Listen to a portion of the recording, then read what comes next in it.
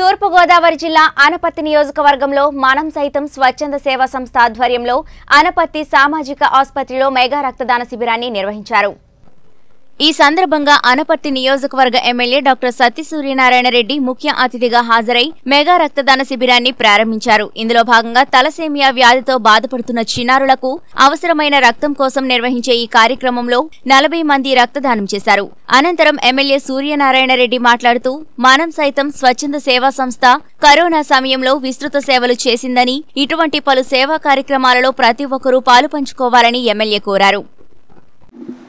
ఈరోజు ఇరవై ఐదో తారీఖు ఒకటో నెల రెండు వేల ఇరవై ఒకటిని సోమవారం నాడు మనం సైతం సేవా ఫౌండేషన్ వారి ఆధ్వర్యంలో మన తలసేమియా పిల్లల కోసం అని చెప్పి మెగా బ్లడ్ క్యాంప్ అనేటువంటిది ఏర్పాటు చేయడం జరిగింది.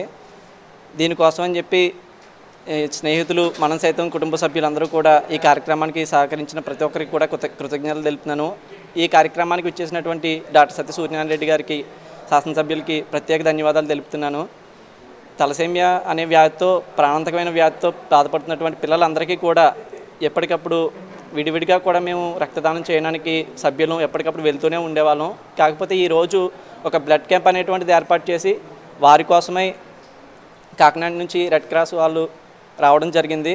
వాళ్ళ ఆధ్వర్యంలోనే నలభై మంది పైగానే మానసైతం కుటుంబ సభ్యులు అయితేనో లేకపోతే విడిగా కాలేజ్ స్టూడెంట్స్ అయితేనో ఈరోజు బ్లడ్ క్యాంపు నిర్వహించి అందులో బ్లడ్ ఇవ్వడం అనేటువంటిది జరుగుతుంది. అలాగే ప్రజల్లో అవేర్నెస్ తీసుకొచ్చే విధంగా చిన్నపిల్లల చేత స్కూల్ పిల్లలు కాలేజ్ పిల్లలు కలిసి ఒక ర్యాలీ టైప్ కూడా నిర్వహించడం జరిగింది. ఆ ర్యాలీలో డాక్టర్ సత్య సూర్యనారాయణ రెడ్డి గారు ఎమ్మెల్యే గారు కూడా పాల్గొనడం జరిగింది.